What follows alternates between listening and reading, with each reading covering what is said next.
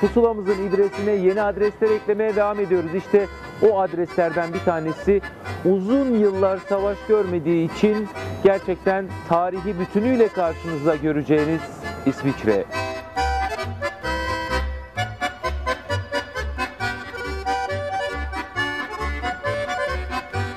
Evet, Berlin'in en eski yerleşim yerlerinden bir tanesindeyiz ve çok önemli bir meydan. Old City yani eski şehir.